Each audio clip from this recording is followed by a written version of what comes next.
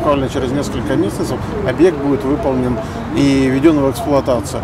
Э, строительство осуществляет э, ну, коммерческое жилье, поэтому будет предоставляться как в черновой, так и в чистовой отделке для ввода в эксплуатацию по таким по частной застройке. Это допускается всеми нормами и в принципе э, достаточно положительно сказывается как на уровне доступности самого жилья, так и на, э, по направлению отделки, которые будет э, сам приобретатель будет, будет сам определять каким образом его делать, какие применять инженерные устройства, сантехнику, окна, двери, это он сам, может самостоятельно либо выполнить, либо поменять уже существующие.